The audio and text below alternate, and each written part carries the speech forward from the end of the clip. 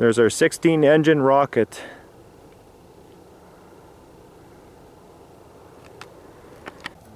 Yes. No.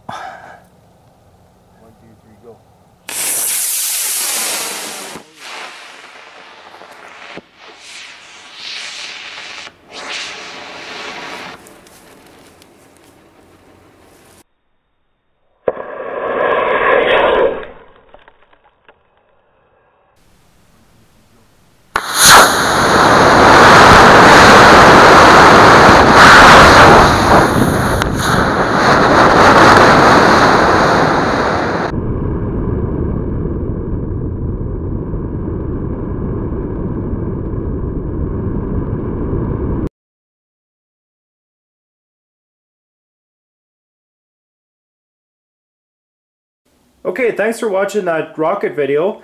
And I highly recommend not to build these kind of rockets, but if you do, make sure that you are certified to build these bigger rockets and that you have a good hiding spot to uh, protect yourself when these things go wrong. So having said that, this is how I build these things. Um, so as you can see, I use a C6-0 rocket engine and a D12-0 rocket engine for uh, zero delay in ejection charges so that these rockets will ignite each other instantaneously. There's no delay.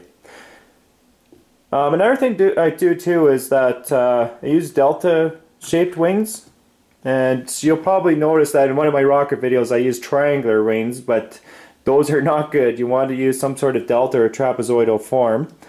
Um, another thing too is that I use school glue to attach these rocket engines to each other. So what I'll do is I'll go one one spot here, one spot here, just little spots, and then I'll that's how I attach them. Like I'll show you one, two, three, four.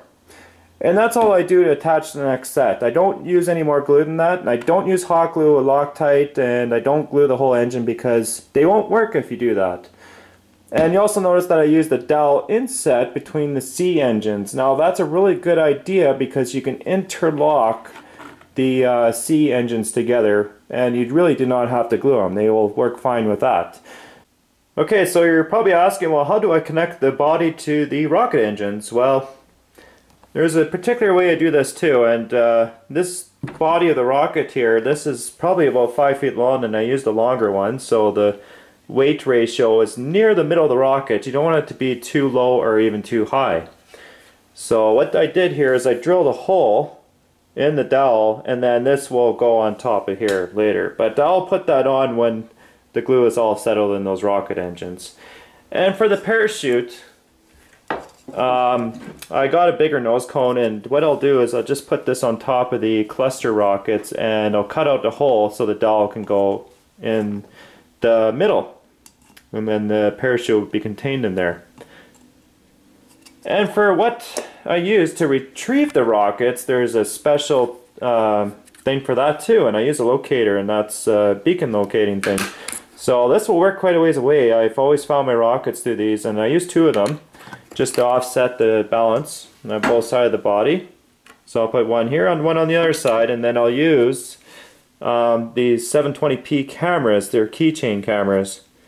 Um, these are relatively cheap, so I don't really care if they break or not. And I'll put one on each side too. And I'll usually just duct tape it. I know people say, oh, you gotta make it more aerodynamic and whatever, but you know what? I've never had any problems just doing it duct taping and, you know, just weight balancing them on both sides. Uh, it worked just fine.